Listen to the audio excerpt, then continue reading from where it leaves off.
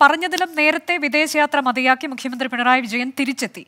അതീവ രഹസ്യമായിട്ടായിരുന്നു മടങ്ങിവരവ്. സോളാറിൽ ഉൾപ്പെടെ പുതിയ വിവാദങ്ങൾക്കിടയിലേക്കാണ് മുഖ്യമന്ത്രി വിമാനമിറങ്ങിയത്. പോയതിലും വന്നതിലുമെല്ലാം സസ്പെൻസ്. ഇന്തോനേഷ്യ സിംഗപ്പൂർ ദുബായ് എന്നിവിടങ്ങളാണ് മുഖ്യമന്ത്രി സന്ദർശിച്ചത്. തിങ്കളാഴ്ച മടങ്ങിയെത്തുമെന്നാണ് നേരത്തെ മന്ത്രിസഭയെ ഉൾപ്പെടെ അറിയിച്ചിരുന്നത്. അവസാന നിമിഷം മാറ്റത്തിൽ ഇന്ന് പുലർച്ചെ മൂന്ന് പതിനഞ്ചിന് ദുബായിൽ നിന്ന് മുഖ്യമന്ത്രിയും ഭാര്യയും ചെറുമകനും തിരുവനന്തപുരം വിമാനത്താവളത്തിൽ പറന്നിറങ്ങി. തിരികെ എത്തിയ മുഖ്യമന്ത്രി കത്ത് ചോദ്യങ്ങളേറെ. മറ്റ് സംസ്ഥാനങ്ങളിലെ തെരഞ്ഞെടുപ്പ് പ്രചരണത്തിൽ പങ്കെടുക്കാതെ വിദേശയാത്ര നടത്തിയെന്ന വിമർശനം ഒരു വശത്ത്. ഡൽഹിയിലും ബംഗാളിലും ഇനിയുള്ള ദിവസങ്ങളിൽ തെരഞ്ഞെടുപ്പ് പ്രചാരണത്തിന് പോകുമോ എന്നത് കാത്തിരിക്കണം. വിദേശയാത്ര രാജ്ഭവനെ പോലും അറിയിച്ചില്ല എന്നതിലും വിമർശനങ്ങൾ ഉയർന്നിരുന്നു.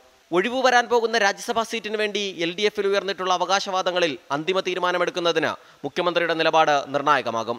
സംസ്ഥാനത്തെ വർദ്ധിച്ചു വരുന്ന ഗുണ്ടാ ആക്രമണങ്ങളിൽ ആഭ്യന്തരമന്ത്രി കൂടിയായ മുഖ്യമന്ത്രി മറുപടി പറയേണ്ടി വരും.